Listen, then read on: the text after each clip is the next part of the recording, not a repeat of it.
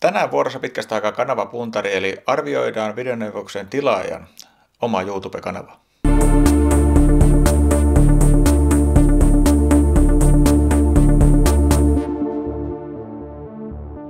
Moris Moris, tässä taas videoneuvos, joka auttaa sua tavoittaa yleisössä menestymään YouTubessa.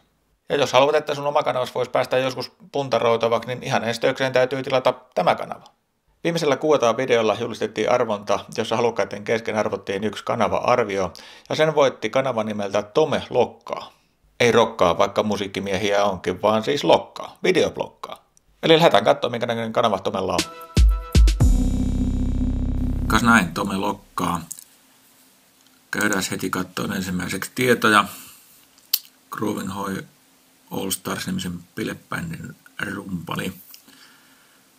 Joo, eli muusikkomiehiä ja kanava tehty vasta nyt pari kuukautta sitten, reilu kaksi kuukautta. Mikä nyt ei kyllä negatiivisessa mielessä näy tästä. Eli kaikki oleelliset peruselementit on paikallaan, on otsikkokuvaa, avatarta, esittelyvideo lähtee heti pyörimään, kun tullaan kanavalle. Tietysti videoita, kun ei ole vielä tän enempää, niin ei tarvita vielä soittolistoja sun muuta, mutta nyt jo rupeisin sitä miettimään, että tähän etusivulla kannattaa sitten niitä erinäköisiä kokonaisuuksia ruveta kasaamaan.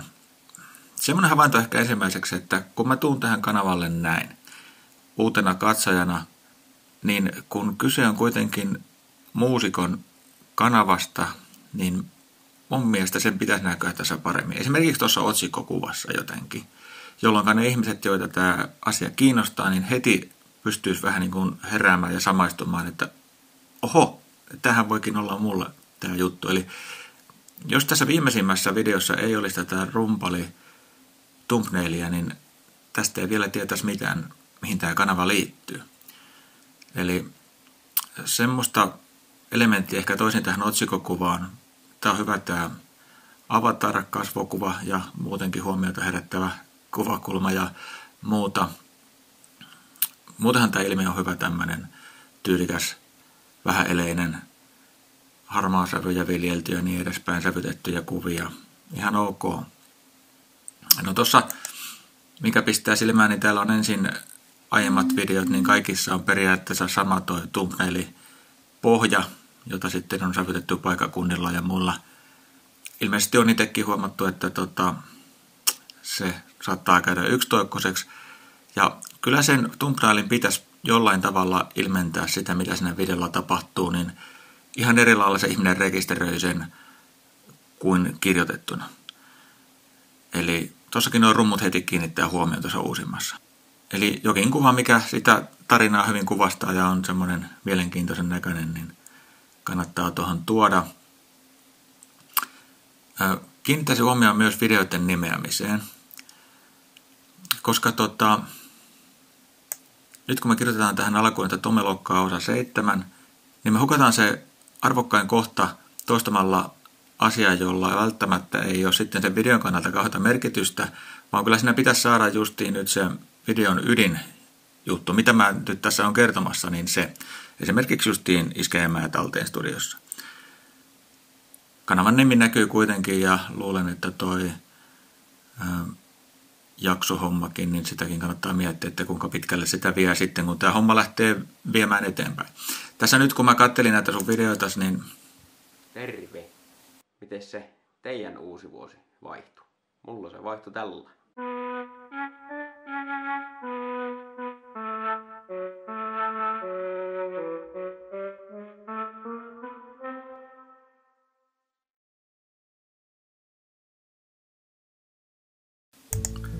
Video on sinänsä oikein rakennettu, eli siihen tulee ensin tämmöinen koukku, joka kiinnittää huomioon, jonka jälkeen intro. Mä pidän sitä aika pitkänä tota introa, että siinä saattaa niin kuin sähäkämällä katsojalla jo mielenkiinto loppua, mutta ymmärrän, että tässä on haettu tämmöistä vähäileistä tyyliä. Muutenkin nämä videot on kyllä rakennettu ihan oikein, että loppuun tulee tämmöinen yhteenvetomainen joku sutkautus siihen ja linkit mutta tota, toisiin videoihin ja kanavan tilaukseen. Ää, toi pippalot.com tässä nyt herättää sen verran huomioon. Sehän on siis tämän bändin sivusto. Mutta tota, kannattaisi ehkä sitten miettiä, että pitäisikö se olla myös täällä näissä linkeissä, jotka tulee tänne otsikkokuvaan. Eli jos sen pistäisi ensimmäiseksi tuonne tietojakentän linkkeihin, niin sä saisit siihen vaikka pistää ihan bändin nimenkin kirjoitettuna. Kun se nyt kuitenkin on sun työtäs, niin ehkä tekisin niin.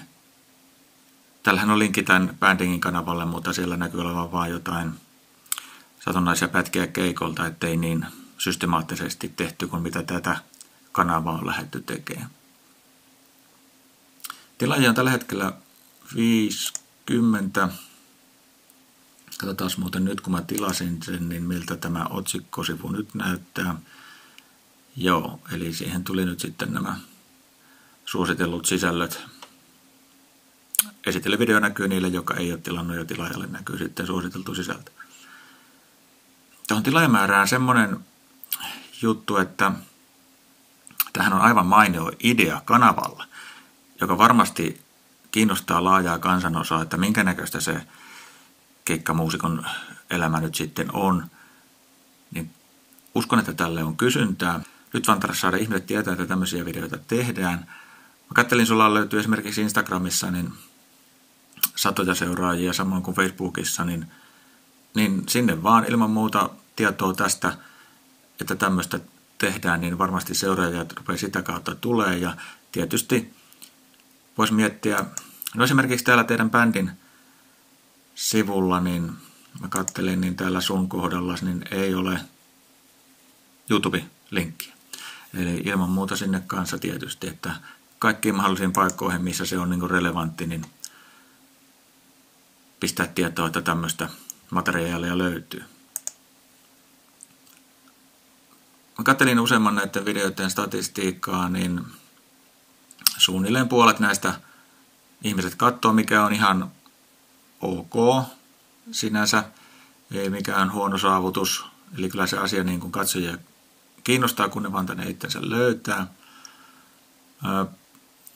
Videon näistä takeista mä kattelin, ne vaihtelee sen verran, että jostain puuttuu muusikko, jostain puuttuu rumpali.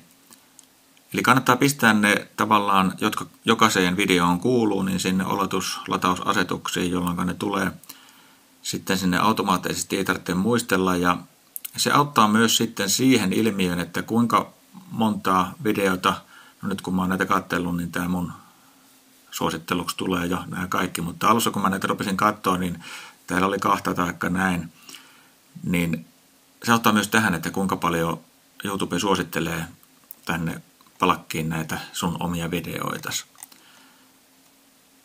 Kun täällä on systemaattisesti ne oleellisemmat avainsanat joka videossa, niin se tunnistaa, että ne videot liittyy toisiinsa. Täällä on jotkut videot, kun täällä on yli 15 ja jopa 20 minuuttia nämä, niin mä kyllä kehottaisin harkitteen vähän semmoista tiiviimpää kerrontatapaa. Se nyt tietysti on pitkälti, että minkä näköistä tyyliä vetää, mutta kyllä tuommoinen 20 minuuttinen video, sen täytyy olla aika lailla koukuttava, että ihmiset sen loppuun katsoo. Katsotaan pahuuttaa, mikä tässä muuten on katsonta-aika. No niin, tässä onkin sitten enää 35 prosenttia katseltu, eli semmoista vähän tiiviimpää kerrontaa ehkä hakisin, jotta se mielenkiinto pysyy. YouTube on vähän sen sorttinen media. Eli jos mä jonkinnäköistä yhteenvetoa tekisin, niin kanavan idea on aivan mainio. Eli nyt tarvitsisi saada vaan ihmiset tietää, että tämmöinen kanava on olemassa. Muusikkopiirit, keikolla kävijät, bändin fanit. Voisiko jopa ajatella, että keikalla jotenkin asian tuo esille jossain esittelyssä, bändiesittelyssä. Eli pidä tää, älä, älä lannistu vaikka heti ei lähde homma lentoon. Oot kumminkin tehnyt kaikki perusasiat tässä nyt ihan oikein, eli tavallaan se ei näy tästä päältä päin, että tämä on nuori kanava. Nyt kun saat vaan tänne sisältöä lisää, niin se lähtee kyllä sitten toimimaan. Sulla on mainio ote näihin videoihin, eli tämmöinen rento, luonnikas ote, ei ole minkäännäköistä pönöttämistä eikä kamerapelkoa, osavasti huumoria. Myöskin tekninen toteutus on ihan jees, niin kuvaaminen kuin äänityskin. Alussa oli tuulenkohina vähän ulkootoksissa, mutta taisi siihenkin joku ratkaisu löytyä, koska uusimmissa ei enää sitä ollut. Tuossa uusimmassa rumpupätkässä oli jo useamman kameran kuva ja näin, ja leikkaustyylikin on selvästi jo matkan varrella kehittynyt. Näinhän se lähtee just toimimaan sitten, kun sä vaan teet sitä, niin kyllä se tämäkin työntekijänsä opettaa. Sitten jos niitä kehitysasioita ajattelee, niin tämä etusivu kannattaa tosiaan sen verran virittää, että selviää, että tämä on niin kuin muusikon sivu, mutta pidä tämä tyyli, se on ihan hyvä, erottuu joukossa taas oman tyyppisenänsä. Ja sitten tehdä huolella ne pikkukuvakkeet, thumbnailit ja myöskin videon nimi. Ne on sitä ihmistä varten. Sitten kiinnittää huomioon myöskin niihin hakusanoihin, että siellä tulee ne kaikki relevantit mukaan samoin videon kuvaus, ne on taas sitten niin kuin enempi hakukoneen käyttöön. Sitten mä miettisin, minkä näköisiä uusia näkökulmia tähän asiaan voi tuoda, eli noin suurin osa on nyt niitä keikalta tehtyjä videoita ja sitten keikkapäivästä. Tämä viimeinen video on hyvä, kun näytetään, miten niin reenataan ja ollaan siellä studiossa ja näin, niin tämän tyyppistä tavallaan taustamateriaalia, että mitä kaikkea siihen sisältyy, liittyy se sitten soittimiin tai siihen musiikin luomiseen, harjoitteluun, niin niille voisi keksiä tämmöisiä omia tyyliin videosarjojaan, tai siis teemojaan, mitä sä sitten kasaat soittolistoiksi tuonne etusivulle.